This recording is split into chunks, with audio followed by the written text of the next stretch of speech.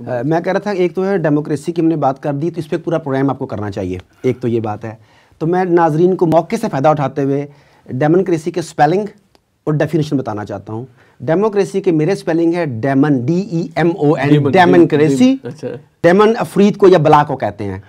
اور گورنمنٹ کی جو تعریف یہ بتاتے ہیں ڈیموکریسی کی وہ ہے گورنمنٹ آف دا پیپل اور double F of for the people F A R for from the people by the people B U Y by government of the people for from the people and to by the people ایک تو یہ بات دوسری بات یہ ہے کہ اس وقت موجودہ دور میں طیب اردگان پہ یہ الزام بھی لگتا ہے کہ وہ نظام باطل کا سہارا لیتے ہوئے کیسے دینی اسلام لا سکتا ہے؟ ڈیموکریسی کی جو بات ڈیموکریسی کی جو بات کر رہے ہیں۔ تو میں اکثر کہا کرتا ہوں کہ موجودہ صدی میں صرف دو حکمران آئے جنہوں نے اسلام کے احیاء کے لیے کام کیا۔ ایک نے سیف کا سہارا لیا، تلوار کا سہارا لیا ملا عمر۔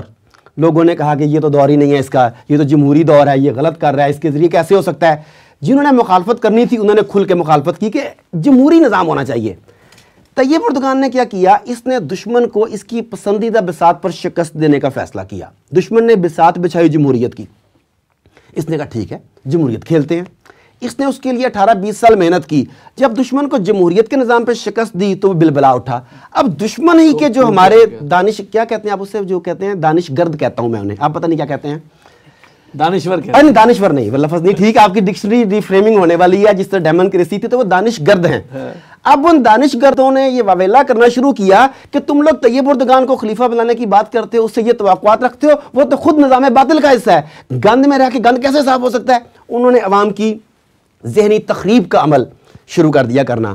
تو اصل میں سمجھیے کہ یہ جنگی حکمت عملی ہے۔ جنگی حکمت عملی کے تحت بعض اوقات آپ کو دشمن کے مورچے میں جا کے لڑنا پڑتا ہے۔ اس وقت میرا یہ خیال ہے کہ طیب اردگان اور اس کی ٹیم یہ کام کر رہی ہے کہ دشمن کو اس کی بسات پہ شکست دینے کا فیصلہ کر رہی ہے اور اس بسات کا نام ہے ڈیموکریسی۔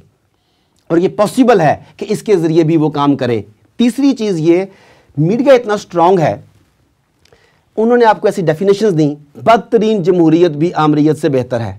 ہاں، اچھا ابھی ہماری ڈسکشن بھی ہوئی۔ ہم نے ڈسکس کیا آمریت کو اور ڈائمن کریسی کو۔ ہم نے یہ میسج دیا کہ دنیا میں صرف دو ہی نظام ہائے حکومت ہیں۔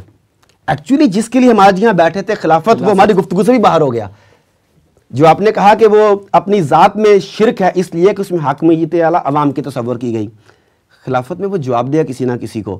تو اس بارے میں آئی ول ریکویسٹ کہ ایک مکمل کمپریہنسو پروگرام کریں بلکہ سیریز کریں۔ ہوتے رہتے ہیں اس میں خلافت ٹھیک ہے۔